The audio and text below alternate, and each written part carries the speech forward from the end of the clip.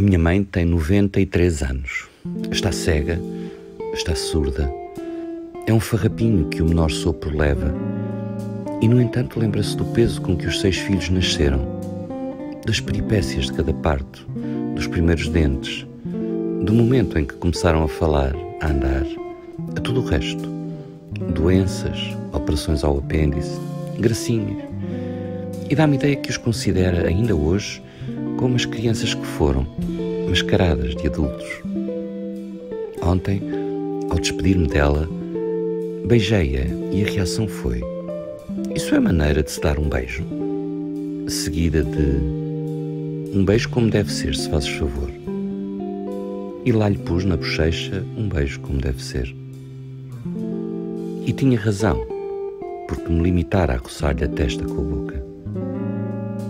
Várias vezes já ouvi perguntar aos meus irmãos: Não sabes dar um beijo como deve ser?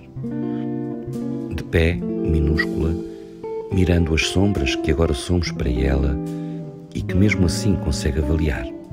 Estás mais gordo, estás mais magro, com uma exatidão infalível. Passa connosco os jantares de quinta-feira em silêncio. O Pedro grita-lhe na orelha as poucas coisas que lhe dizemos. Vive, sem uma queixa, numa solidão absoluta. O que é que faz o dia todo? Penso, às voltas com recordações, memórias.